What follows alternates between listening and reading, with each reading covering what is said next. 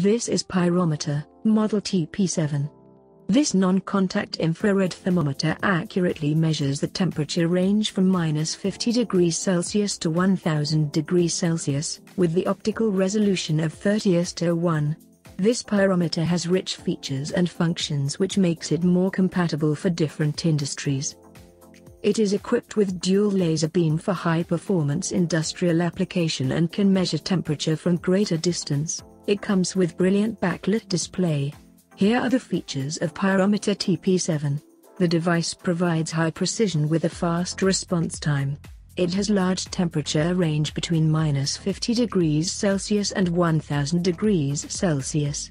The device has maximum and minimum value and hold function. It has alarm function with freely definable limit values.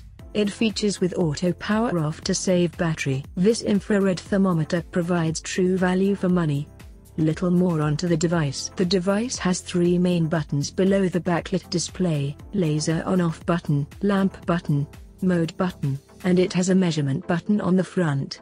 The laser on-off button is used to switch on the laser pointer. Pressing it again turns off the laser pointer.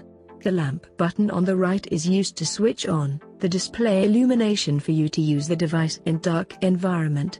The mode button enables you to choose and adjust the various settings such as alarm settings, temperature settings, laser settings, lamp settings and so on. The measurement button on the front is used to point the laser beam and measure the temperature of different applications. Before you point the laser beam to measure, make sure the surface is clear from dust, dirt or other particles.